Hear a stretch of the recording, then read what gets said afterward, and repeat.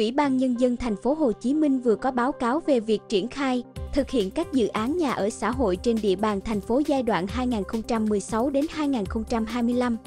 Giai đoạn 2016 đến 2020, thành phố đã xây dựng, đưa vào sử dụng 19 dự án nhà ở xã hội, quy mô 14.954 căn hộ. Kết quả đến quý 2 năm 2023, thành phố đã hoàn thành đưa vào sử dụng 2 dự án, quy mô 623 căn hộ.